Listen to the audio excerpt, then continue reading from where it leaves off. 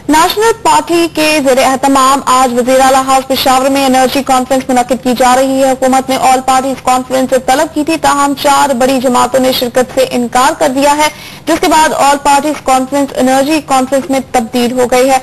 इस हवाले से हम बात करेंगे पिशावर में आज न्यूज़ के नुमाइंदे शहाबुद्दीन से।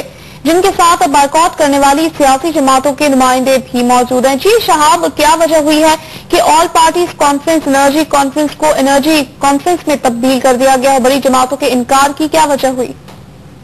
आवामी नेशनल पार्टी की तरफ़ से आज बुलाया गया एनर्जी कॉन्फ्रेंस जो कि आल पार्टी कॉन्फ्रेंस था, और सियासी जमातों के अदम शिरकत की बिना पर उनको एनर्जी कॉन्फ्रेंस में तब्दील कर दिया गया। इस वक्त तोानाई का बहुत बड़ा बहरान है इस मुल्क में, और खसूस हमारी सूबे में लोड शेडिंग की वजह से लोग बहुत तंग आ गए हैं। तो आज अवामी नेशनल पार्टी की तरफ़ से इस एनर्जी क्राइसिस पे बात करनी थी, लेकिन सियासी जमातों ने उसमें शिरकत करने से इनकार कर दिया है। क्या वजह है कि उन्होंने इनकार किया है? यहाँ पर लोगों को तकलीफ़ है तो इसराउल्ला हमारे साथ मौजूद हैं, उनके साथ बात करेंगे। इसरा साहब, ये बताएँ कि क्यों आप लोगों ने इनकार किया इस आल पार्टीज़ कॉन्फ्रेंस में बिस्मिल्लाह रहीम देखें बुनियादी तौर से बात यह है कि एनर्जी क्राइसिस आज से नहीं है लोड शेडिंग भी आज से नहीं है।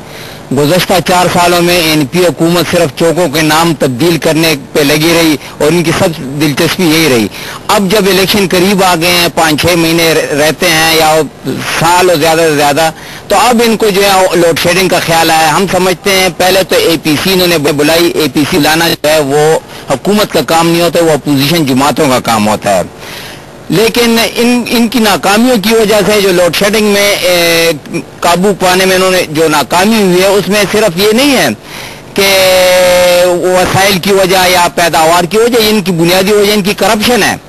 जो करप्शन हुक्मरान कर रहे हैं उसकी वजह से यहाँ पर जितनी पैदावार जो हम प्रोड्यूस कर सकते हैं जितनी बिजली वो भी प्रोड्यूस नहीं हो रही है। तो हम समझते हैं कि एनपी ने ये एक ढोंग रखा है और सिर्फ़ इस वक्त जब इंतबात करीब आ गए हैं तो अब इनको ये ख्याल आया है और ये चाहते हैं कि ये लोड शेडिंग पर जो है ये सियासत करें। अब ये नहीं हो सकती